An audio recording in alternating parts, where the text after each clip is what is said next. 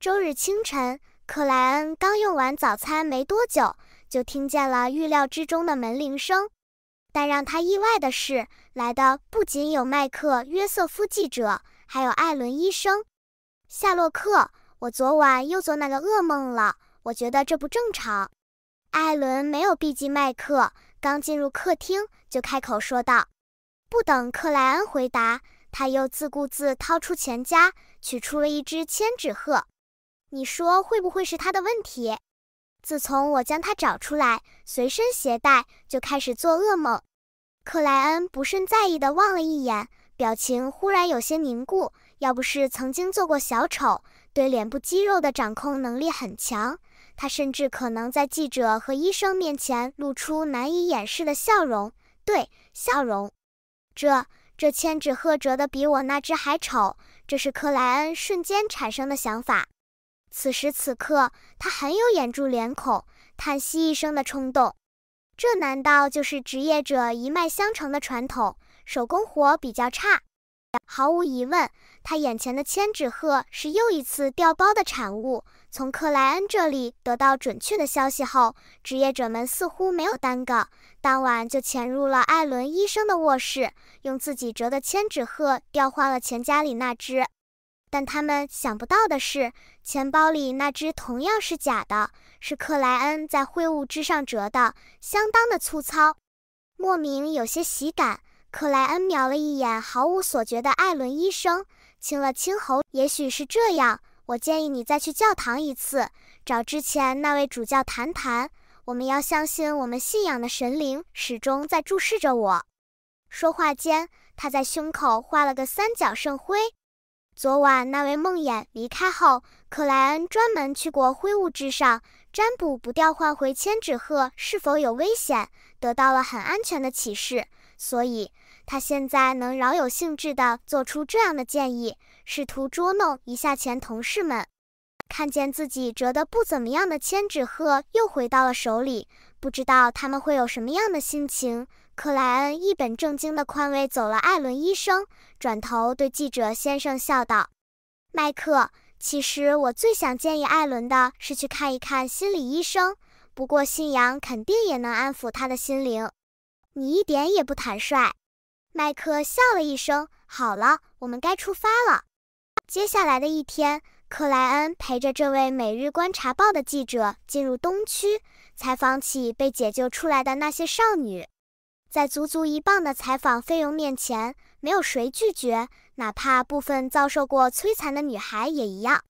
这次的采访中，卡平的罪恶是一个重点，那些少女们目前的处境是另一个重点。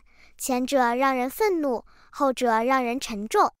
黛西其实算是比较幸运的，回家之后立刻就能投入工作，凭借自身的劳动换取到食物。像他这样的被解救者不超过三分之一，而且多数属于家里还有些积蓄的那种。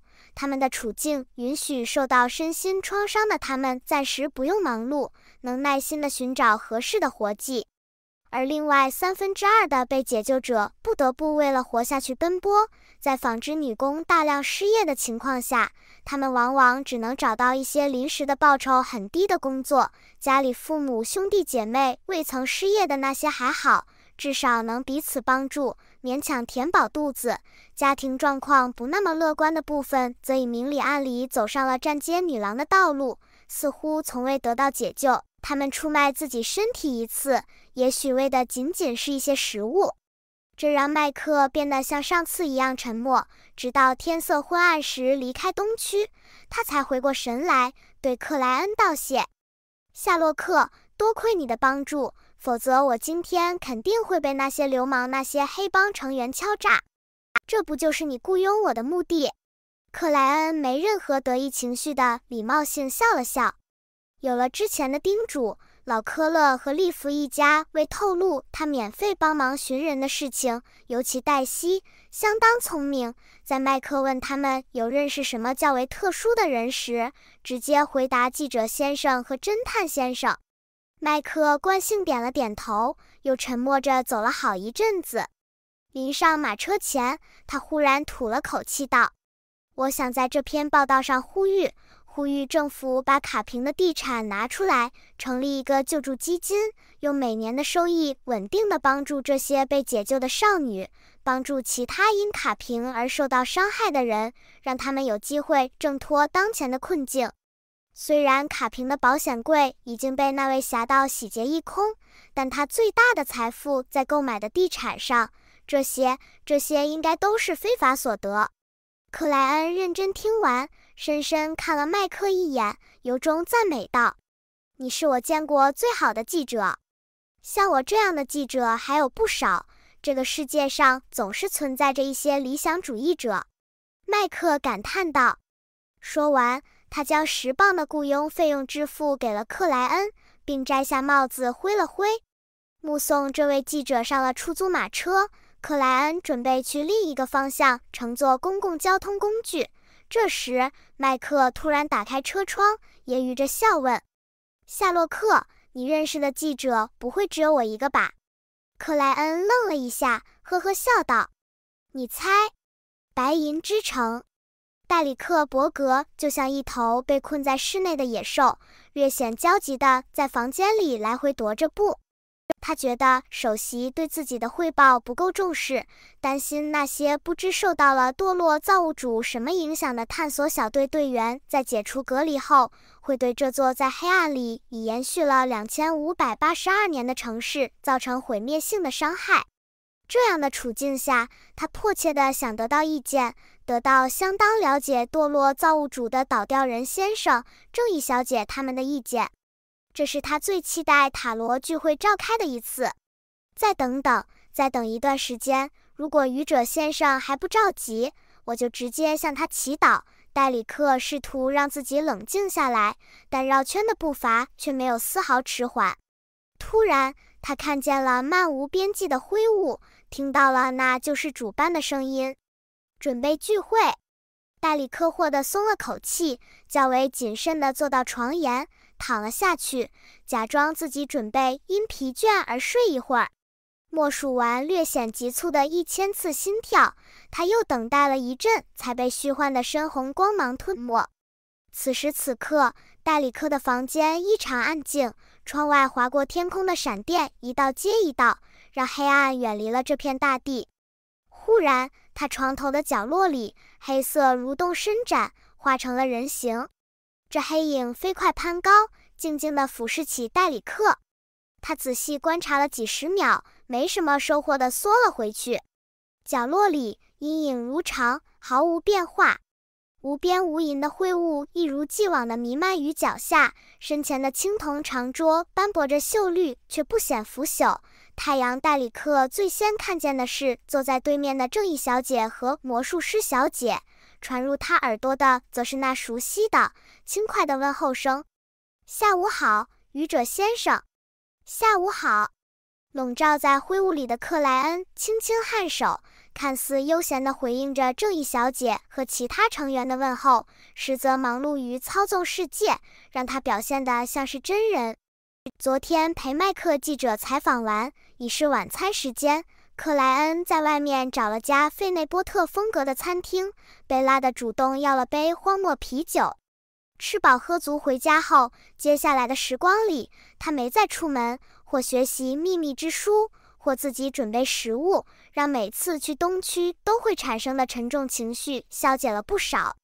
不知不觉间，下午来临，他将心思转移到了塔罗聚会上。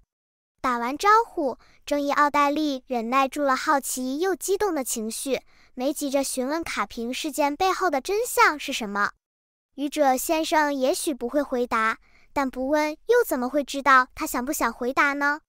嗯，希望他提出等价的要求，我尽量去满足。奥黛丽环顾一圈，观察起其他成员的状态。作为一名读心者，他很快就发现了一些异常。咦？太阳很焦急啊！前探索小队队长的事情出现意外了，遇到阿蒙了。还有，福尔斯处于想问又不敢问的状态。他应该是看见报纸，从塔罗牌猜到卡平之死是我们塔罗会做的，但却疑惑于皇帝牌代表谁。他似乎对愚者先生更加敬畏了。这是遭遇了什么？倒吊人先生的心情很不错，他的魔药已经消化完毕了。他好像在期待着什么。世界先生还是那副阴沉内敛的样子，很难读出他现在的想法。真是观众途径的克星啊！太阳戴里克没有掩饰自己焦急情绪的意图，但又未直接请教各位塔罗会成员。他很清楚，开场这段时间属于愚者先生，除非没有那个什么罗塞尔的日记，没必要着急。已经开始聚会了。如果愚者先生心情好，也许会解答一些问题。戴里克如是宽慰着自己。倒吊人阿尔杰则侧头望向上手，谦卑地开口道：“尊敬的愚者先生，我搜集到了三页新的罗塞尔日记。